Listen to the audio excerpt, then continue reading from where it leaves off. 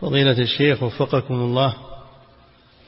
يقول إذا أراد بعض الناس أن يأكل رمى بأول لقمة ويقول هذه خوفا من العين أو من عين. أعوذ بالله هذا اعتقاد سيء ولا يجوز رمي الطعام.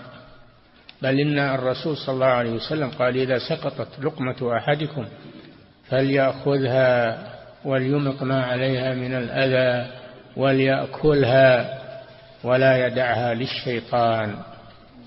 نعم.